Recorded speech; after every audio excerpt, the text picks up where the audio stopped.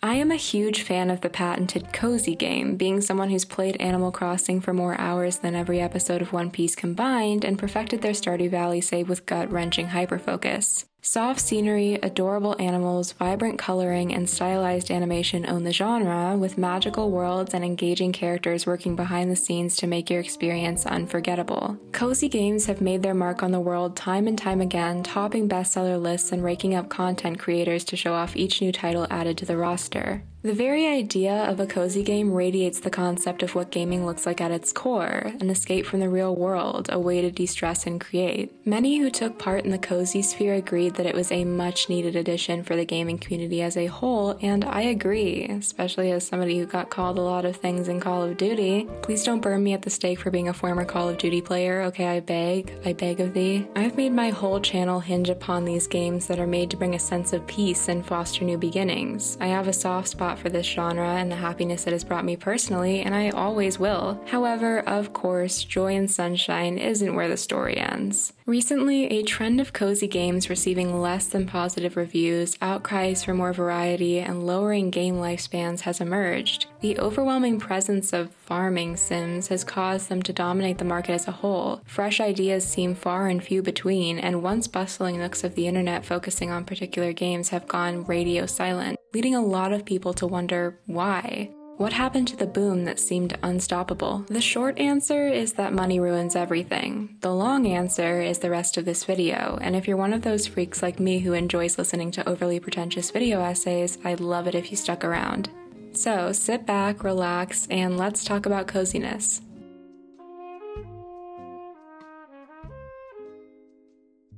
We're going to start today with a brief history of the cozy game takeover and how we got to this position in the first place. Many people marked the beginning of cozy games with Animal Crossing New Horizons or Stardew Valley, and I'd agree that's where the real trend began, but the timeline of wholesome, atmospheric games started in the late 90s and early 2000s. Harvest Moon, first released in 1996, was a pioneer for what we now see quite often calming, life cycle oriented farming sims. You play as a farmer who inherited his grandfather's farm, now tasked with caring for it and restoring it to its former glory. The game was a true breakthrough for the time in terms of its facets. It didn't have levels, bosses, combat, or some evil force to overthrow. Its goal was only to let you build a life, grow some stupid little crops, and own a stupid little sheep. A dream life, honestly. I fucking love sheep. Other games popular at the time, like Mario or Zelda, were far more action packed and heroic. The marriage aspect was also incredibly new to mainstream games and allowed so many kids to experience their first gay awakening, or so I've heard. I didn't grow up playing Harvest Moon games, but after seeing Nami, I get it. Harvest Moon was a massive risk to sink money into when judging its stark differences from other competitors. There was no perfect way to predict how well it would do, nothing like it had really been done before. But that risk paid off massively for developer Yasuhiro Wada, Harvest Moon became an incredibly successful series, a staple of its genre, and paved the way for future titles. Not only had Harvest Moon proved that there was a market for these kinds of games, but it showed what was really possible in the entire gaming market. Games like Animal Crossing Population Growing began to follow suit in terms of energy and playstyles, though differing in some key aspects and, you know, improving upon the whole life sim idea. Animal Crossing has managed to remain one of the original IT titles, with nostalgia blooming from every corner of that fucked up Tanuki for many. Not me though, count your days. I don't want to go too in depth regarding Animal Crossing's creation and gameplay because I'm almost certain that many of you have heard more than enough about it, but it is pretty important to understand that although Animal Crossing did have a dedicated fan base and some pretty good sales numbers, it didn't reach any sort of global phenomenon status in its early years.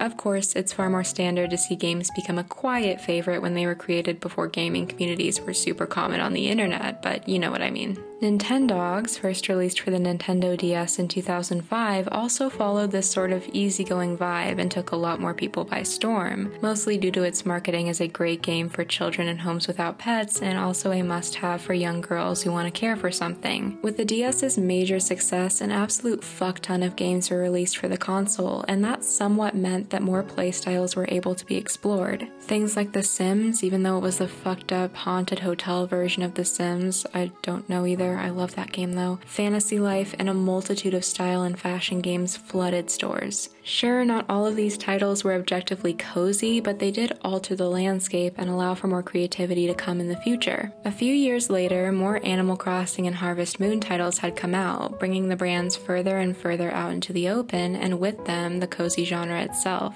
Animal Crossing New Leaf, which came out in 2013, had blossomed into the best received game in the franchise, introducing new players to the series and slowly inching it out into a recognizable IP. Harvest Moon was out there doing the same thing it had been doing for 20 years. This is a time where we see a sort of indie game boom begin. If you were there, I think you'll pretty soon realize what the fuck I'm talking about. Friends, I hate to break this to you. It's Minecraft time. As a closet Minecraft enjoyer, I would love to pretend that I wasn't in the fucking trenches of survival mode when I was a child, but I was there too. We're all in this together. Minecraft, which was officially released in 2011, was not only a massive deal back then, but has maintained an incomprehensibly large player base even to this day. I'm sure you know about it. I'm not gonna say anything here. The game, which used an open world format and allowed for both elements of classic, combat, and newer creative driven playstyles, was an instant hit, taking over the fairly new YouTube gaming community at the time and setting a brand new precedent for what could truly be done in video games. If you're aware of the 9 11 to Ellen's downfall pipeline, this would be the physicist to the Josh Hutcherson whistle meme pipeline. Uh, I regret being born. Anyway, the building aspect became a massive source of the game's reach, especially for idiot little creative kids who like to sink their time into building huge castles. Don't know who would ever do that. Mods and texture packs gave an artistic outlet to players, much like the Sims community had for CC. That doesn't even begin to cover what people have been able to do with the base game, but holy shit, has Minecraft ever changed and defined its sandbox game genre. This, combined with the release of Terraria, a similarly styled survival game a few months earlier, brought two exciting concepts to the general public. These sandbox games are actually the shit, and pixel art rocks. The accessibility of pixel art games was a game changer, haha, pun intended, and set the precedent for games to come. About four years down the line, a game called Undertale came out, garnering a smaller but incredibly eager fan base. This game took the use of pixel art and combined it with an incredible story and super fulfilling world, twisting the idea in a new direction. You play as Frisk, a child who has fallen into a strange land that monsters were banished to after a war with humans. You know what fucking Undertale is, who am I kidding? You guys can't kill me. I was there. I lived it. There are years that you just will never be able to get back, and 2015 is definitely one of them for me. If you, for some god-forsaken reason, managed to escape the Undertale fad back when it came out, I highly recommend taking a look at it. It still holds up in my opinion, it's so good. But if you did play it, you may be thinking, wait, Undertale isn't an open world game, it has combat, it's terrifying at points. How the hell is this a cozy game and why are you mentioning it? Well, first of all, it's mostly not one except for the atmospheric, escapist, heartfelt storyline. It strives for a similar world building effect to a lot of cozy games, and it was a first in its kind in many ways, especially in terms of showing off what you can do with one computer and a bit of elbow grease. Basically, no, it's not a cozy game, but I do think it set the precedent for what could become one. It has such a whimsical, different vibe from so many other games at the time, and I feel like it was crucial in developing that sort of style, so I wanted to mention it. But soon after that, it arrived. Yeah, yeah, I'm talking about Stardew fucking Valley. I'm sure you know very well by this point, but following your grandfather's death, you, a JojaMart employee, move out to the countryside to maintain a farm left to you. You're able to meet a town full of characters, some dateable, and work with the land to complete the community center and return your world to its former glory. It's a staple. It's what a lot of people think of first when they think of cozy games. It's made such a name for itself because of its sheer amazingness. You can never deny how much of an impact Stardew Valley had on literally everything it touched. Eric Barone, the sole creator of Stardew Valley, took plenty of inspiration from Harvest Moon. However, he improved upon it tremendously, and thus an absolute beast of a game rose from the ashes that Harvest Moon once was. Stardew Valley was rich in activities from mining to farming to dating to combat. It allowed you to both follow a goal and explore the world at your own pace, making it a good fit for almost any playstyle. It was adorably animated, full of heart, and held a perfect countryside where nobody will bother you and you'll never have to see your boss again vibe. The game had an incredibly well cultivated aesthetic, and I'd honestly say it paved the way for a lot of the cottagecore trends we saw in the coming years, as somebody who has a fucking mushroom house tattoo, so I can't speak. Overall, Stardew Valley ignited a real interest in games of these types and helped the indie scene develop even further. The success of Stardew was absolutely monumental, and it helped the cozy gaming idea reach outside of its usual bubble. Hold on to that for a moment as I reference Animal Crossing as fast as I possibly can because God knows I've spoken about it more times than it reasonably needs to be spoken about. Please see my eight other video essays on the topic. Anyway, Animal Crossing's massive success after its release in 2020 finally gave a voice to these sort of outlier games that didn't quite have a defined space carved out for them yet. Animal Crossing hit the whole world and had no intention of letting anyone out of its grips. Social media specifically was absolutely flooded with content about it, which not only acted as advertisement for the game, but invited more people to dip their toes into gaming as a whole, which is fantastic. Cozy indie games began seeing the spotlight more and more, giving life to farming sims and visual novels that may not have seen the light of day without the cultural acceptance of Animal Crossing. A short hike, unpacking, Spiritfarer, Cozy Grove, a little to the left, and Breakfast, Calico, Coral Island. The amount of indie games released that made a huge impact on their player base was truly mind blowing, and the amount of developers that found success in this space is absolutely fantastic. It not only created an outline of the possibilities for players, but an outline for content creators too, and that genre of gaming videos blossomed. Now, I love a Pokemon game as much as the next person, but to be honest, I am the biggest sucker for short indie games. I'm fully aware that I sound like the sick fuck who asked you to name three songs from the band on your t shirt, but I try not to be as pretentious about it, even though this video is going to be incredibly pretentious. There's something to be said about people feeling superior for knowing about smaller games, but I see it as a win to the people who made those games. However, you feel about indie game fans, it's good that creators are getting supported. You can go be a stick in the mud somewhere fucking else. New games giving you the opportunity to take over your grandfather's farm were coming out left and right, and it was the perfect time to be an enjoyer of cozy gaming. That is, until suddenly it wasn't. See, indie games like these became recognizable enough for me to mention them and probably have you recognize at least a few of them. Although Stardew Valley's innovation struck a perfect chord, it was a one in a million situation, and games similar to it only truly took over after its success. Indie developers are the heart of cozy games, that's the object truth. Yes, Stardew Valley got recognition because it was great, but that's not how things usually work. The best game ever could be buried in the Steam files with absolutely no advertising, and nobody would ever know about it. One thing I think is incredibly interesting is the resurgence of Harvest Moon, now called Story of Seasons. Many people regard the newer versions to be a lot lower quality than the older titles, losing the charm that they originally had. However, XSEED began pushing out more Story of Seasons games than ever, and they saw an uptick in popularity despite the quality not improving. Why is this? Well, because other farming sims were doing well. By the way, I'm not talking about the most recent one, I've seen mixed reviews for it, but people seem to like it a bit better. The farming sim boom began, and people were snatching up every one that got the attention shifted onto it.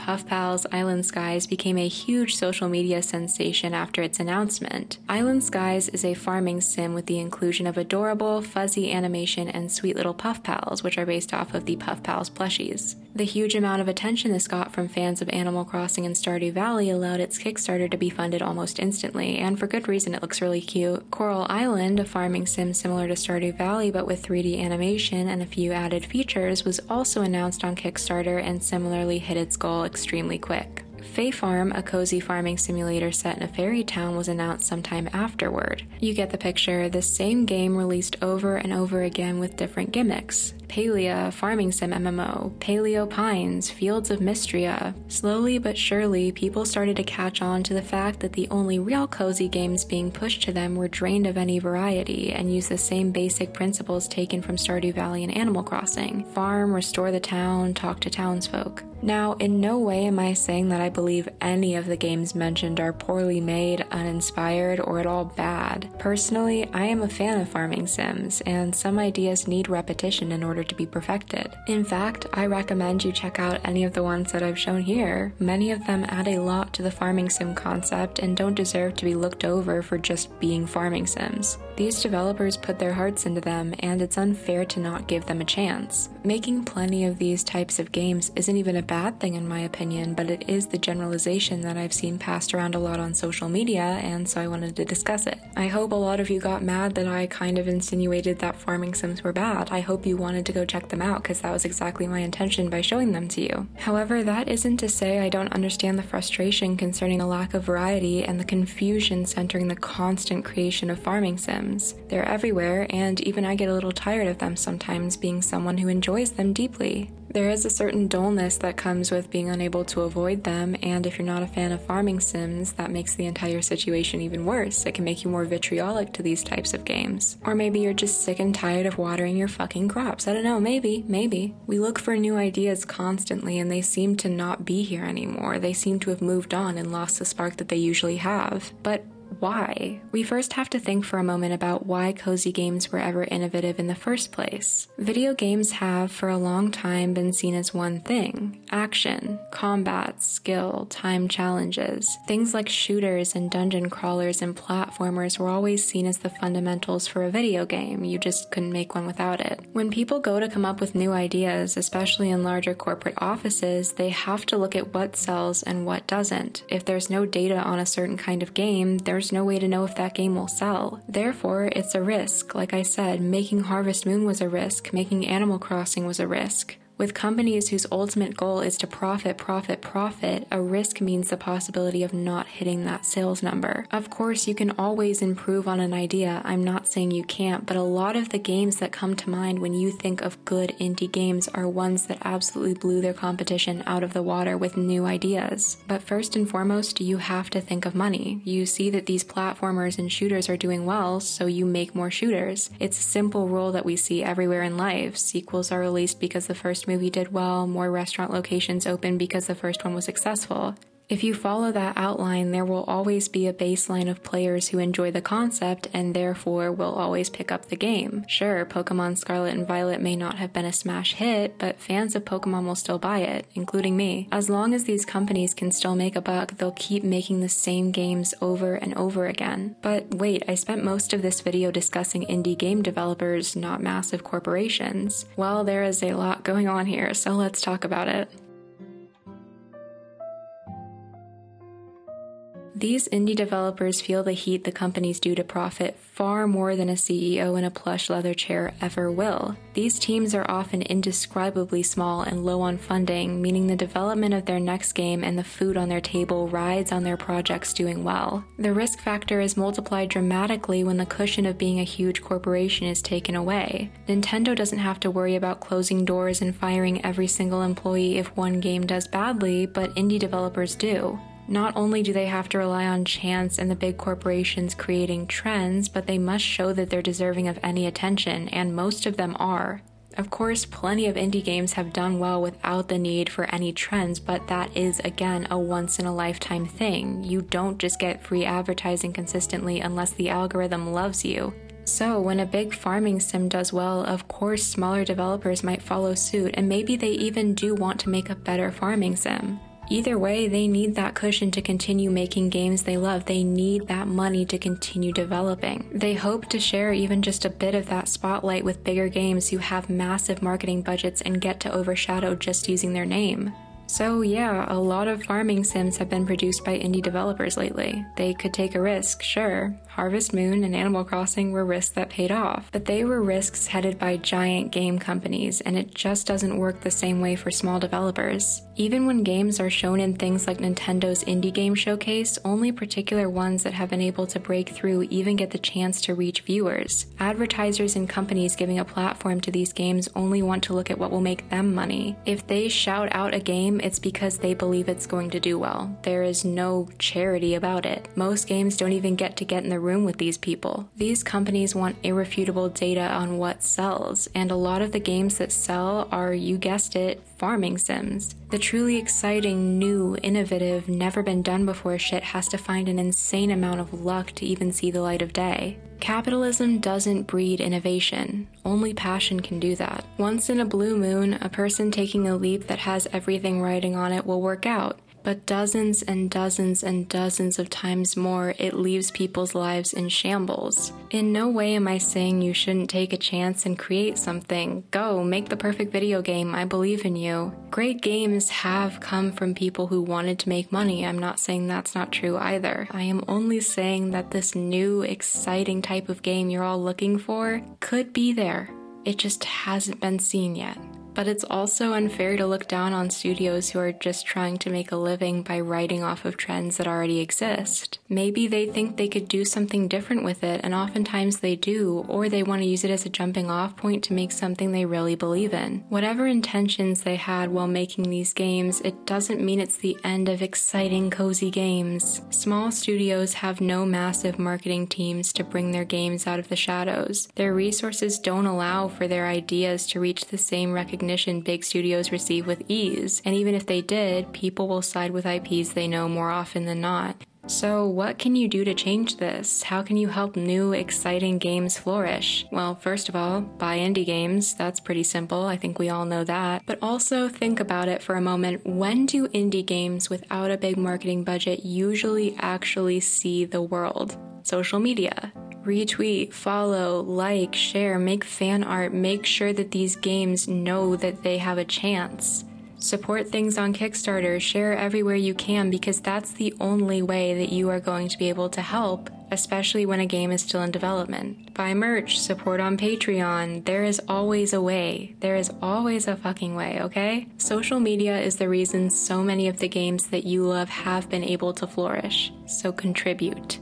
That's all anybody can ask for, really. I do have a couple recommendations for you guys. Sticky Business by Spell Garden Games, which I've streamed once or twice, allows you to run your own adorable sticker shop. You can create designs, follow a heartfelt storyline, and slowly upgrade your shop. The whole vibe of this is incredibly fun and a great way to de stress, and I've created so many cute things on here. Witchy Life Story by Sundew Studios is a similarly formatted visual novel, but the punchy dialogue and potion creation mechanics separate it from anything else I've played played. It's truly so cozy in art style. The vibe is fantastic. I just love it so much. Though I picked the wrong choices half of the time, I had an incredible time playing it and it is so charming. The Cosmic Wheel Sisterhood by Deconstructeam didn't get the attention it deserved despite being in a Nintendo Direct. The visuals for this game are one of a kind. It's so soft and beautiful. There is a very fun tarot card game inside of it, and you get to explore friendships, the future, political things. It's really an absolutely beautiful game. I highly, highly recommend it, but it will make you cry so hard. It will make you cry so hard.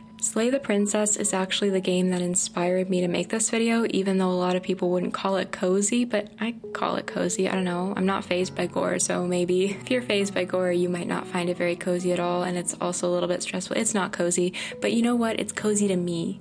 It's cozy to me. It inspired me to make this video because it is so incredible. It's by Black Tabby Studios. It's an incredibly well done visual novel that explores morality, relationships, and the inner self. It's fully voice acted and the art style is so captivating. These recommendations are not anywhere near as underground or whatever as I would like them to be, but please, please, please leave your favorite games down below that you are looking forward to or small developers you want to support because they need it give cool, fun games the ability to exist. All in all, this video was basically a shout out to indie games. I completely understand the frustration with how dull cozy games have seemed to veer lately, and I want better for the community as well, but money talks, and I wish money would shut the fuck up for once. Talk over money, support smaller games, support what you love, and make sure that indie developers are heard. Don't let Nintendo do all the fucking talking. Thank you guys so much for watching. I really appreciate you, and I hope you enjoyed this video. I know it's not going to be something that everybody agrees with, and a lot of people will probably not be a huge fan of the way I approach this, but it is what it is, and I feel like